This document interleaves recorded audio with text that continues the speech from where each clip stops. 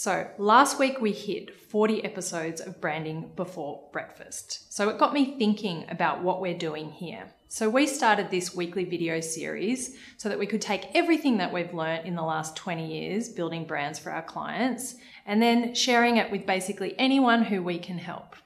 So, in that time, we've covered some really big topics like why purpose is so important to building a brand and how to create a value led culture to much more tactical things like how to survive social media without being exhausted and making it manageable, and how to make sure that your website is really working for you and converting. But now we want to know what do you want answered? What is your biggest business challenge right now?